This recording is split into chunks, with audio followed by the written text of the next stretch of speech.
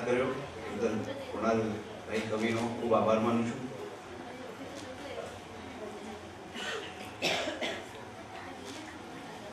આરંભમાં કહેવાયું તેમ હું વ્યવસાય વકીલ છું, પણ કવિશ્વર દલપતરામની વાત આવે એટલે વકીલાત મૂકી દેવી પડે.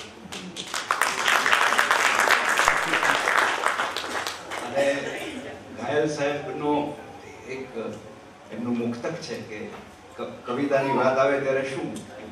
કે ઘણા એવા પણ છે કવિ બંધુ મારા જે પુરસ્કાર આપો છતાં ના પધારે. અને એક હું છું જે કવિતાને ખાતર રજાઓ લઉં છું કપાતે પગારે આજે દલપતરામને સંગીતથી યાદ કરવા છે. અને કવિ નાનાલાલે દલપતરામ માટે પિતૃ તર્પણ નામનું એક કાવ્ય લખ્યું. જેમાં છેલ્લી બે પંક્તિઓમાં એ કહે છે કે, હું તે લઈ આ વીણા, સ્મરું છું ગુણ આપના. પુણ્ય શ્લોક પિતા, મંત્રો જપું છું પિતૃ યાપના તો આ દલપતરામના મંત્રો આજે ગાઈ રહ્યા છે એવું મને લાગે છે. આવતીકાલે વસંત પંચમી છે. અને એમણે વસંત ઋતુનું વર્ણન એવું એક કાવ્ય લખ્યું. મને લાગે છે કે ગુજરાતી કવિતા જે દયા દયારામ સુધી મધ્યકાલીન ભક્તિ કવિતા કહેવાય, એ પછી કવિતામાં જે કુદરત જે આવી અને અર્વાચીન વિષયો આવ્યા, એમાં કદાચ દલપતરામ પ્રથમ હશે. અને એટલે ગુજરાતી ભાષામાં ઋતુનું વર્ણન એ દલપતરામે આપ્યું છે. વસંત ઋતુનું વર્ણન. કાલે વસંત પંચમી છે. એ રીતે પણ એ અગત્યનું છે. અને સ્વરાંકન શબ્દોમાંથી જ ઘણીવાર મળતું હોય છે. તેવી રીતે વસંત અને વસંત ઋતુમાં ગવાતા રાગો દરેક ખંડને ચાર જુદા રાગમાં સ્વરબદ્ધ કરીને એ સમયના રાગોને એ એ સમયના રાગોમાં સ્વરબદ્ધ કરવાનો પ્રયત્ન છે. આપની સમક્ષ રજૂ કરું છું.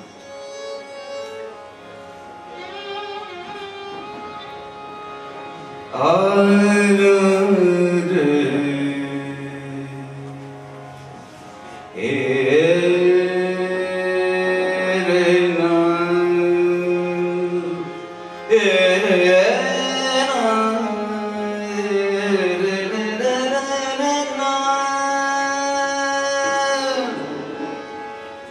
ु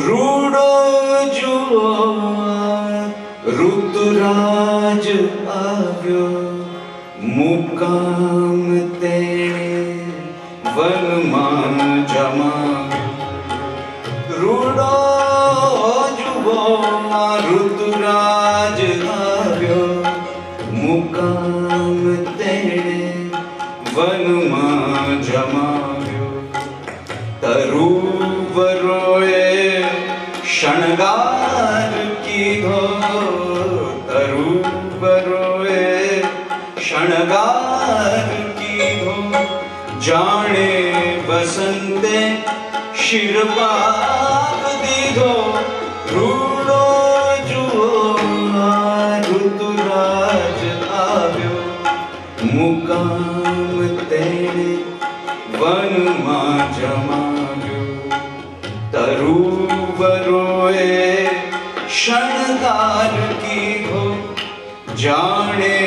वसन्ते शिर्वावतिरो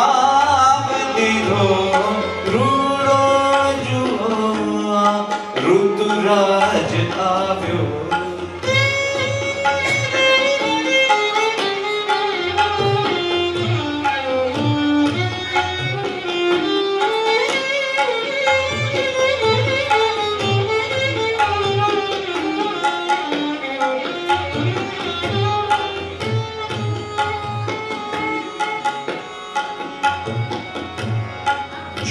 या पत्र गया खरीने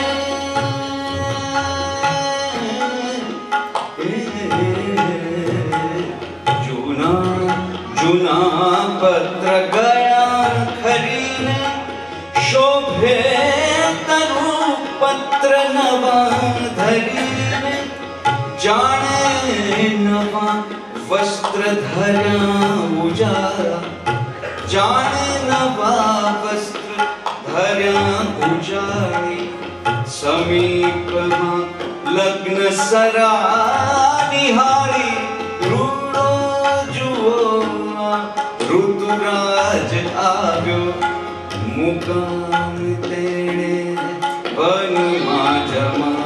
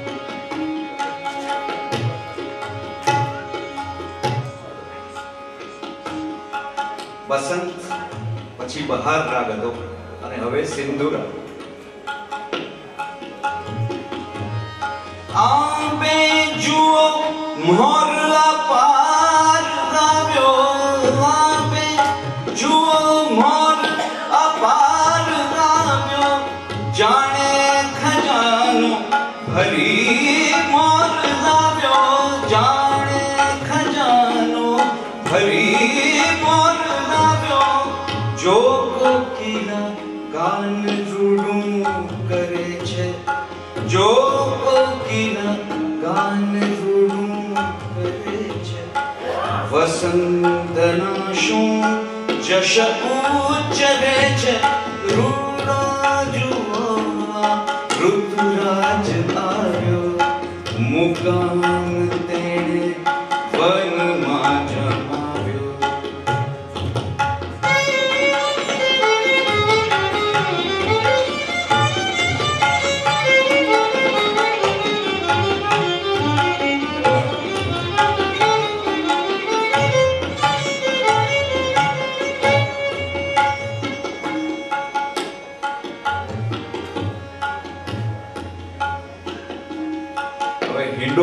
હિંડોલ નામનો રાગ રાગ આવે છે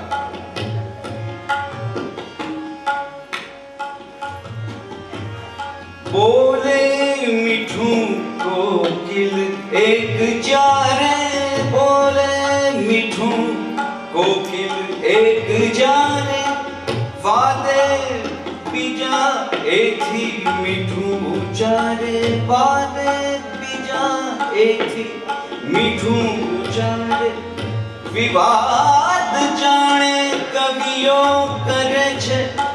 વિવાદ જાણે કવિઓ કરે છે. વખાણ લેવા સ્પર્ધા કરે છે. વખાણ